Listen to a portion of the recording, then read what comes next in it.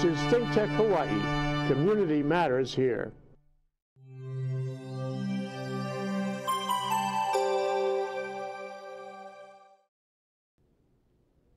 Hello, welcome to Out of the Comfort Zone. I'm your host, RB Kelly, and you are watching OC16 Television. Now today we have a really cool guest and I'm super excited, but first, let's talk about our book of the week. So our book of the week is What Every Body is Saying. This is by Joe Navarro. I'll be honest, I'm like a huge fan. He is super cool. One of my heroes, actually. But Joe Navarro, it's an ex-FBI agent's guide to speed reading people. Now, when I first started reading and studying about body language, I really had no information to go on. And he was actually the second book I got on body language. And it just opened my eyes, and everything made so much more sense. I was able to see what people were going through, see what people were thinking, and actually react to it in real time. So if you are going into an interview, if you're having difficulty in a relationship, if you're having a hard time reading your kids, if you think someone's lying to you, if you think you're not making a great first impression, if you have any questions really at all about body language, this is a great book to pick up and to read. It's What Every Body is Saying by Joe Navarro. Now, for your body language tip of the week, this is something I see a lot when I'm talking about personal subjects. It's a kind of blocking gesture, a kind of soothing gesture. What it is, is people will like rub their necks. And I'm going to try not to stimulate my microphone. We'll see how this goes. But when people are nervous, or when they're upset, or when they're lying, like it could be any of these things, they tend to soothe themselves by touching their neck. Now, women, we tend to do it daintily. We'll kind of like either rest our hand here or like vaguely pet this area or even like play with some jewelry. Men tend to like grab onto their necks and massage it, and it tends to be much higher up here. And so, anytime you see something like this, or they're like adjusting their shirt collar, playing with their tie, or like delicately playing with a necklace, or even just resting their hands here, that is a nervous gesture. And it means someone is possibly lying or possibly feeling really vulnerable about what they're sharing, or they're just really nervous. But anyway, anytime you see this kind of neck touching that's going on here, a really good sign someone is nervous and they're trying to calm themselves down. So when you see this, ask yourself, why is this person nervous? And when you're able to come up with an answer, you'll have an extremely good insight into what they're really thinking and feeling. And that's your body language tip of the week. Now, I know you saw a sneak peek of our guest, uh, but I'm really, really excited for our guest. Her name is Debbie, and let's have you come back on screen, Debbie. I'm really excited. So, this is Debbie Burns. Debbie, can you tell us what you do?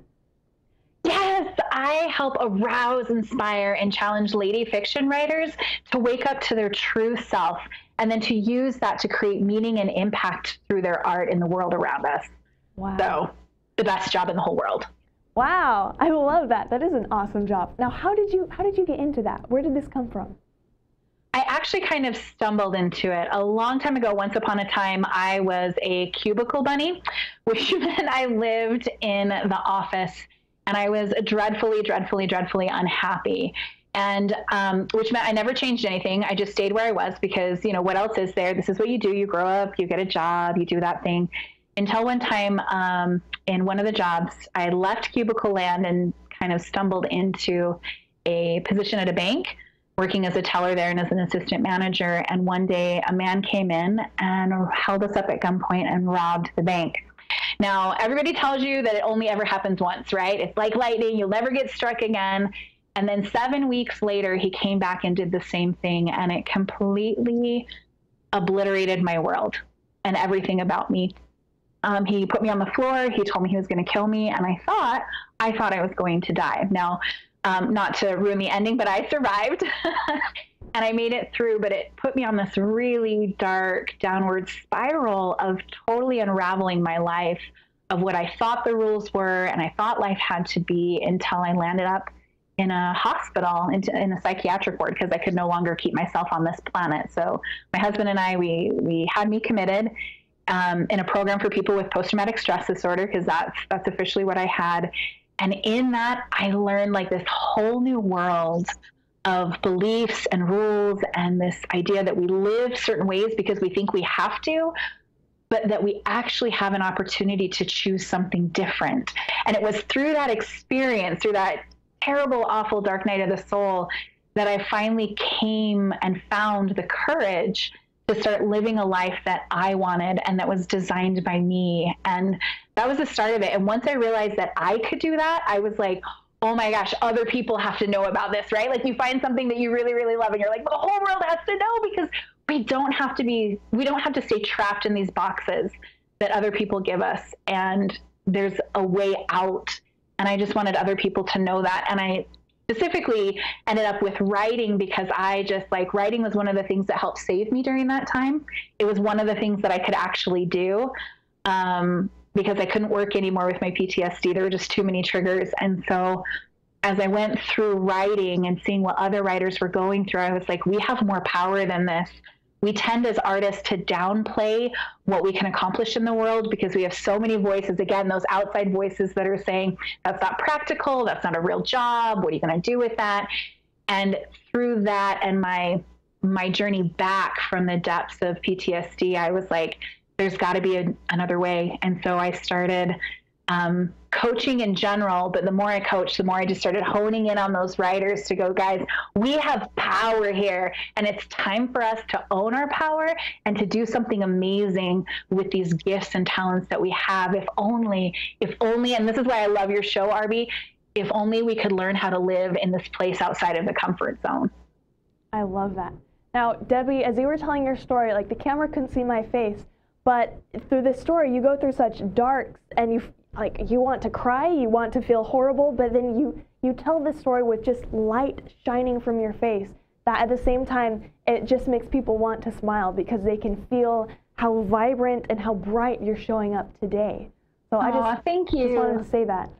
Um, I'm, um, I'm really curious. I think that's something. Oh, did you have a question? Sorry. I no, go to... ahead. Go ahead. It's all good.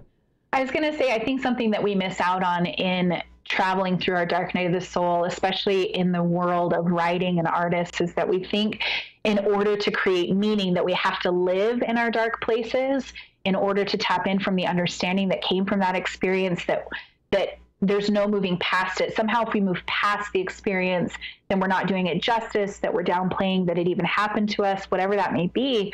But one thing I've learned through the process is that it's not about living in our dark night of the soul.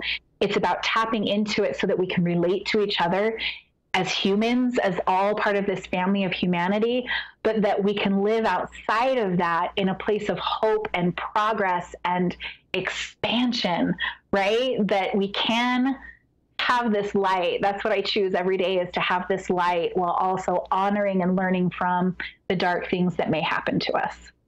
I love that. That's beautiful. Now, Debbie, do you feel like these dark times and dark places have made you a better writer? Uh, absolutely, absolutely. Not saying that everybody needs to like be robbed and go through post-traumatic stress disorder to be an amazing writer, but I think if we can honor the harder parts of our lives to understand what is happening in those moments, to really sit with it and be okay with it. Because I think the other thing we tend to do is we're like, oh, that happened and let me push that away. And I, you know, let's just pretend it didn't exist. But there's strength in that thing. Not that I'm not the person that's ever going to say things happen for a reason, like someone had to experience an atrocity to learn X, Y, and Z. But I very much believe that we have the opportunity to look at any experience we've been through and go, what do I want to take away from that? What do I want to learn from that? How do I want to be a better human being because of that?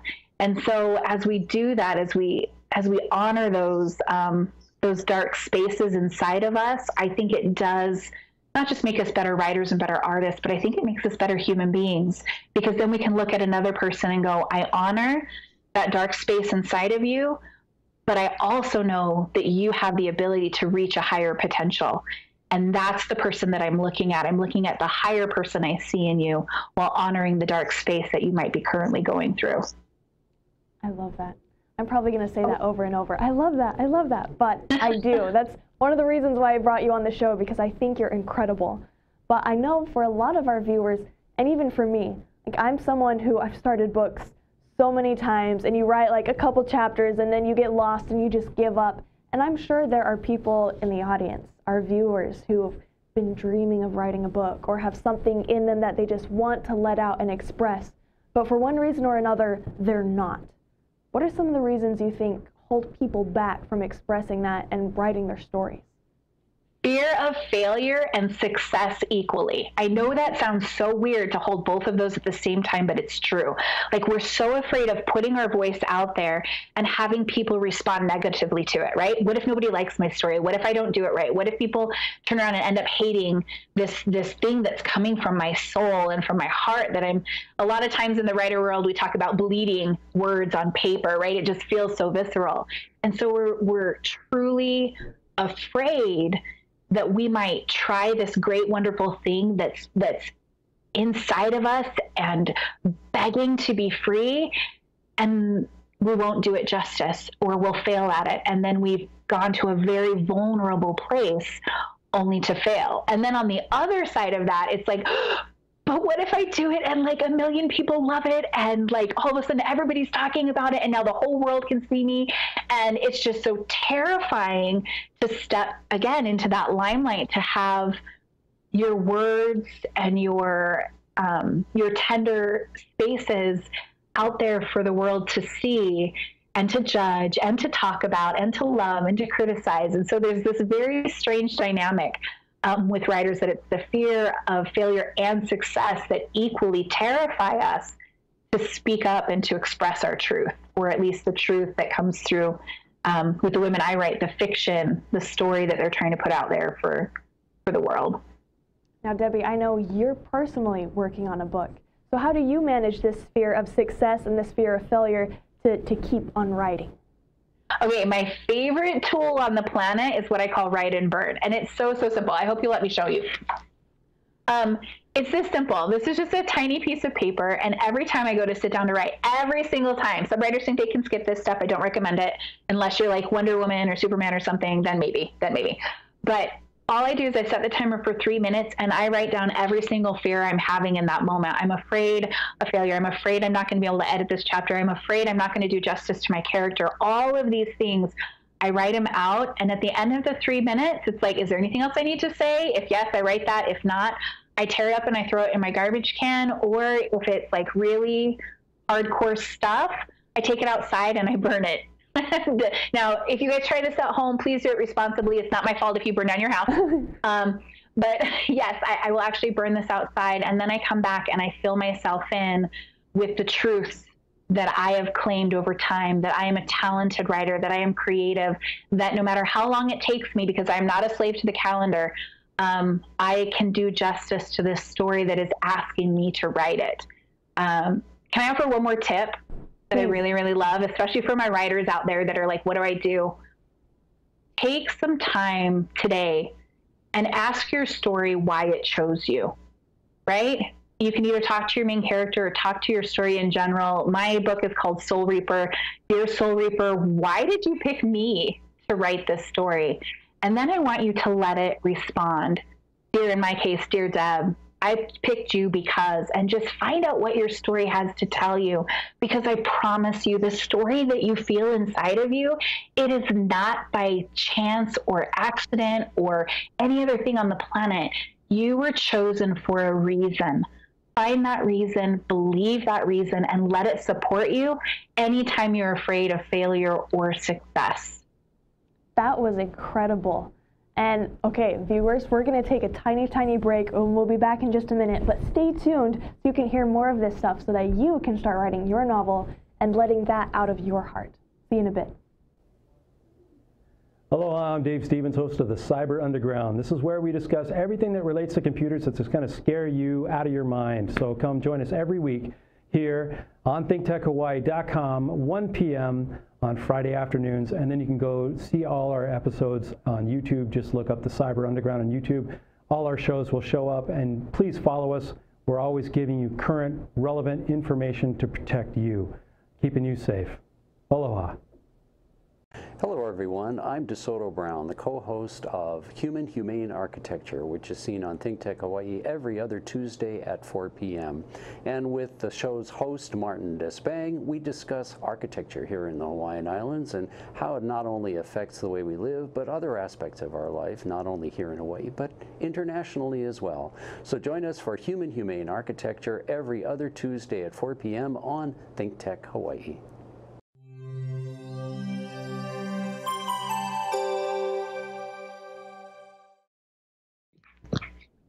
Welcome back. This is Out of the Comfort Zone. I'm your host, RB Kelly, and we've got a super cool guest, Debbie Burns. Now, we did a little talking over the break. We didn't mean to leave you out, but Debbie was telling me more about one of the most important things you need in order to keep on writing. Debbie, can you elaborate for us? Oh my goodness, it's the juiciest part ever, and that is tribe. Like, hands down, you've got to surround yourself with people who believe in in this person you're trying to become. Because I think I think RB can attest to this as well. Anytime we step out of the comfort zone, our brain is going to register that as death it's like, oh my gosh, this is the scariest thing ever. This is death. Go back to the way that you were. And if we're surrounded by people who support that story, it makes it so hard to take those tiny steps towards becoming that new person that we want to be. And I would, maybe I shouldn't say new person, but that inside person that is asking to be freed. And so by surrounding ourselves with people and i'm not i'm not advocating for the cutting of like family or the shutting of people in your life but by being very conscientious of um, curating your friends and close relationships and inviting those people who support you, see you, and want these things that you want for yourself by having them in your space because they become so powerful. Those moments, remember when I was talking about like we have to write and burn to get rid of all this negative stuff that's kind of this fear of success and failure inside of us? These are the people that we can go to who can sing our soul songs back to us when we have forgotten the words. So if you're a writer, go find powerful writing communities. Whatever it is that you're trying to accomplish, make sure you have those people around you. And like for family members, because this always comes up, is like, what do I do with my family members? Because they don't a like who I'm becoming. Believe you me, I know. Um, or they don't support this endeavor that I am walking on. And for those relationships, I would say simply allow them to be that relationship. If it's a spouse, don't expect them to be your number one cheerleader for your writing. Just let them be your spouse, right? If they're mom or dad or sibling, let them simply be mom, dad, or sibling, and then cultivate a, another tribe of cheerleaders who are ready and willing to be like, heck yes, let's write this story. Yes, you're a talented author. And yes, no matter how that draft comes out, you have the power to edit it into the masterpiece that you desire. So tribe, tribe, tribe, tribe, tribe, and that's um, coaches. And I know RB talks about this on her show, and I'm so grateful. Get the right coaches in your life. That includes peers, the people that can support you along the process and who understand what you're going through. And that includes the people coming up behind you. And in the reader world, that's usually um, other writers that you might be talking to or readers that you're looking to bring in who love your work. So make sure you build tribe. Imperative, imperative to the artistic process. And I've seen this in my own life. Now, I'm not a writer yet, uh, but I found even when I was just starting my, my body language business, when I was starting to speak, when I was starting to coach, my family was supportive, but they were also dubious. Like, I'm not sure if this is going to work. So, you know, don't get your hopes yeah. up too high because we don't want you to be hurt if, if, when it fails. And so, looking back, I found the most success when I did what you said and put them in the family category and found other people to be my business coaches, to be my mentors, to be my cheerleaders. And if you look back at the history of this show and past episodes, a lot of those cheerleaders are the people I invite onto the show because um, I know if they believe so much in me and they've had a message that's been so powerful to me, there's some of my viewers who are going to need that message too. Amen, amen, amen.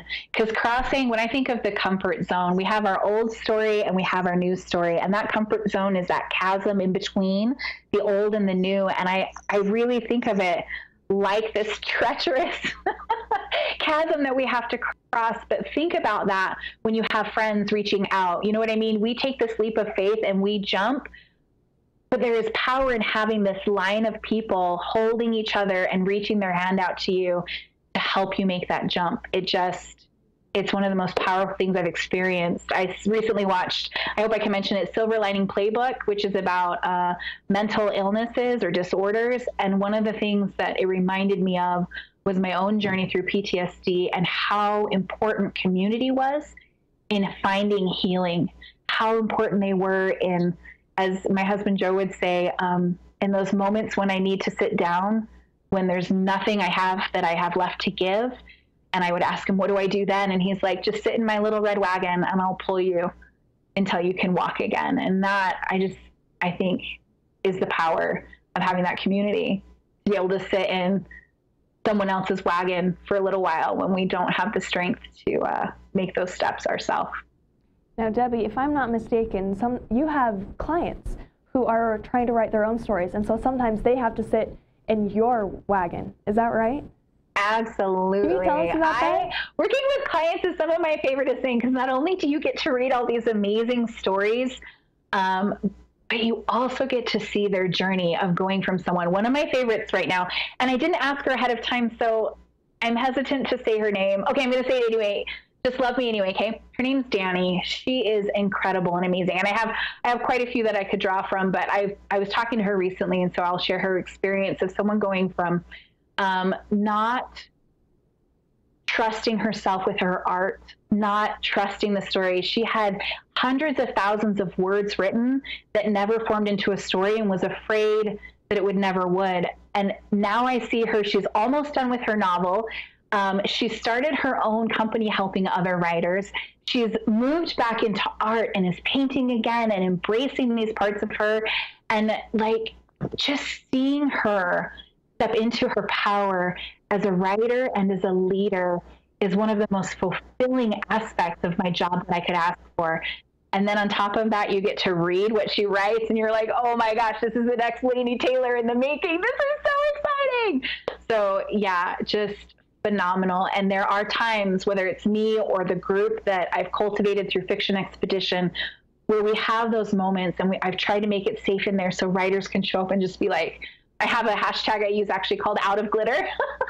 so on those moments when it just feels so hard, they can hashtag out of glitter and share the pain and the sorrow, never emotional dumping, but an but a willingness to go, this is what I'm feeling and this is what I think I need. And can you ladies lean in and remind me that I am powerful enough or good enough or smart enough or whatever it is to keep taking these steps. And oh my gosh, RB, the outpouring of love that you see in there, like there are days when I just like, I'm crying behind my computer because it's like this. This is what it's all about because women supporting women is such a beautiful, amazing, powerful endeavor. And it doesn't have to be catty and it doesn't have to be weird and it doesn't have to be any of those things. It can just be an honest to grandma lifting each other up because when one writer wins, I think all writers win. There's no shortage of readers, right? I, I, hope writers hear that. There is no shortage of readers. And the more that we're willing to reach out can, and connect with other writers, the easier it is for us to continue our journey, but it's also the easier it is for us to share our books with the world. So it's win, win, win, win, win all the way around. I just love it. I love that. So it sounds like you you help writers by not only reading their work, providing positive feedback, but also helping them to get out of their comfort zone and providing a safe space for them to build a community to keep pushing them forward and bringing them up. Is that right? Absolutely. Yeah. Step one for me is always looking, I call it embolden the inner writer. It's always taking a look at who you are, like the core essence of your soul and what's going on in there and what's getting in your way, both as a human being, because we can't separate it our art and our humanity are they're not separate. So I can't be like, we're not going to talk about your personal life. We're only going to focus on the writing. That, that that's a real, right? Um, and so it's very important. I call it if you look at a compass, knowing our inner self is the north point of the compass. If I don't know who I am, if I try to go in any direction, I'm going to be slightly off because I'm not completely aligned with that north. But as soon as I understand where north is, then everything else I do, whether the south point of my compass is crafting the book, and then I have an east and a west that's attracting the tribe and rocking the market. But if I don't know who I am, it really makes it hard to write a book that feels good to me because I'm trying to write it based on what other people want, not what I feel is right for the story or trying to find the the people for my tribe to show up. Like if i think i'm over here like once upon a time i thought i was um, a crazy like light everything on fire maverick. I've learned that i'm not that kind of a person. Once i understood that my true joy was just helping take people on the journey and adjusted that compass i could start bringing people into my life that really understood and supported that and could go on that journey with me. So everything i do is about first and foremost understanding, loving, and aligning with our inner writer. And then from there, absolutely, we're diving into the book to write quality fiction, quality fiction. Because that's like that in writing that's what people come back for. So if we write a bad story people aren't going to want to come back for the second one. So we've got to make sure we have a good first one. And then from there we can talk about how to build your tribe and how to really do well in your market. And a step beyond that and that's where this year is taking me this year of the writer is looking at the writers who want to become leaders because there is so much power, as I talked about earlier, to be had from artists that it's time that we start leading into leadership instead of shying away from it with this idea that, well, I'm just a writer. So what do I have to offer the world? The truth is that we have tremendous amounts of talent, insight, understanding, love, all of these things to offer the world. And it's time that we start leaning into that and changing not just our world and our perceptions, but being willing to reach beyond to adjust the worlds around us and create a better place for us to be. Because I think we all want that. Just, you know, a better place to live, right? More love, more compassion, more kindness. And I think writers have that capacity now, to Debbie, change. I love everything you're saying. And we've only got a couple minutes left, so I'll ask you what I think is one of the most important questions. Uh, Okay. There are some of our viewers who are thinking right now, this won't work for me. I'm never going to finish my book. I'm never going to find the courage to start it. This, I'm just not a writer. What would you say to them? Okay, so if you're thinking, let me go here. The minute you say it's never going to work for you, it's never going to work for you because you have already decided that this is bogus. And so I'm going to assume you love your life. You love everything about it. You love the fighting that's going on. You love staying the same. Whatever's happening, you love your life. And I bless you in that. What I would ask you to do, if you're really sitting there going, I know I want something different, and I know I have a story inside me, and I want to believe it's possible, it's just that history is telling me that it's not. What I'm going to ask you to do is to give it a try for at least 30 days. I'd actually rather have you try it for 90, but at least 30. Write and burn three minutes a day, every day for the next 30 minutes because it's not that you can't do it. And it's not that history is proving to you. Our brain, the minute you say, I can't do something, your brain goes, oh, let me go find all the information and all the memories that prove that to you. But the minute you're willing to start entertaining the idea of a new belief or a new story, okay, you're telling your brain to find you different evidence. That's what you're doing. It's like when you buy a car and suddenly you're like, everybody on the planet is driving this car. Nobody was driving it before me, and now everybody's driving the same car. That's only because you've given your brain new information, and now it goes, oh, now I should find all the Ford Edges on the planet. Okay. So by doing the write and burn every day for that three minutes, what you're training yourself to do is to let go of the negativity that's telling you that you can't. And you're making space for the possibilities that are telling you that you can. So please, please, please, if you're not willing to try it, you're right. It will never change. But if you can give me 30 days and you're willing to write and burn for at least three minutes a day for those 30 days, I can show you that it's possible. And then get yourself in a tribe. Come join me. Come be a part of what's going on here with the glitter cannons and all the excitement that's happening because together we can make a difference in your life and in your writing. But you have to believe it first. You have to choose to believe for a moment. Once upon a time, Joe said to me, um, when I told him that I didn't believe, let's just say it this way, I didn't believe the universe loved me. And he said to me, Can you trust me that the universe loves me? And I was like, Okay, yeah, I can trust you. And that's what's held me through while I was trying to find that love for myself. If you can't believe that it's possible for you, I'm asking, can you just trust me for 30 days? Trust me that it's possible for you. And let's show you that it can happen.